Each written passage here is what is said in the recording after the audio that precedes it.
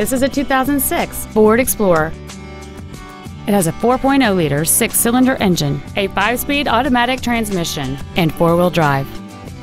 Its top features include a power driver's seat, cruise control, a keyless entry system, four well positioned speakers, a leather wrapped steering wheel, a double wishbone independent front suspension, aluminum wheels, traction control and stability control systems, front and rear reading lights, and this vehicle has fewer than 37,000 miles on the odometer.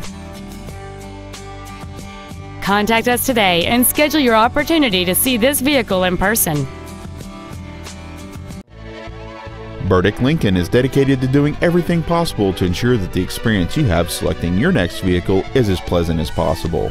We are located at 5885 East Circle Drive in Cicero.